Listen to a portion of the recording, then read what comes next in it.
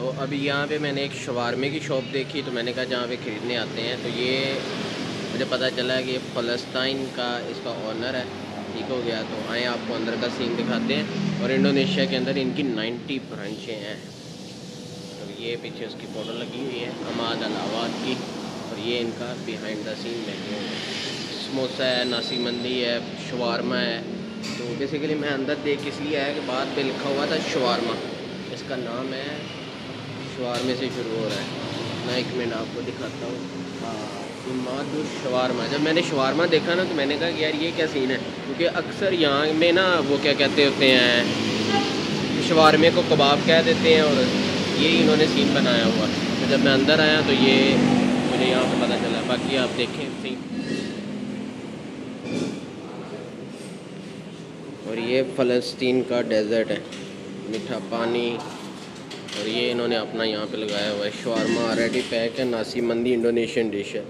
Butter rice I don't know fried chicken तो ये किसी ने भी इंडोनेशिया के अंदर को काम वगैरह करना है ना तो हमेशा वो मिक्सअप करता है इंडोनेशियन को विद अपनी जो डिश होती है।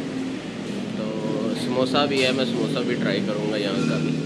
अच्छा थोड़ी सी करेक्शन है। मैंने पहले कहा कि नासी मंदी इंडोनेशियन डिश है। मैं भी यहाँ पे यही समझ रहा तो अभी मुझे पता चला कि नासी मंदी फ़लस्तीन की डिश है। और नासी का मतलब होता है चावल। मंदी का इंडोनेशियन में मतलब होता है नहाना। तो मैंने अभी अपनी वाइफ से बात करी। मुझे कहती तेरा दिमाग तो सेट है। मैंने कहा, क्या हुआ? कहती, कि चावल चावल नहा के हटे तो भाई, ये छोटी सी करेक्शन थी और मेरे अपने दिन में भी आ गया। बाकी ये देखो कि इनकी 90 ब्रांच है, बंदूक के अंदर इनकी 10 ब्रांचें हैं। तो ये इनका सेटअप है। इसी की तरह मैं भी आपको थोड़ी देर बाद दिखाता हूँ आइसक्रीम का सेटअप मैं उसकी भी आपको हिस्ट्री बताता हूँ, ठीक हो गया? अच्छा यार, मैंने वो जो ख़रीदा था शवारमा वाला, उसकी अपडेट दे दूँ। प्राइस रीज़नेबल थी, इसमें कोई शक नहीं है, लेकिन टेस्ट नहीं था।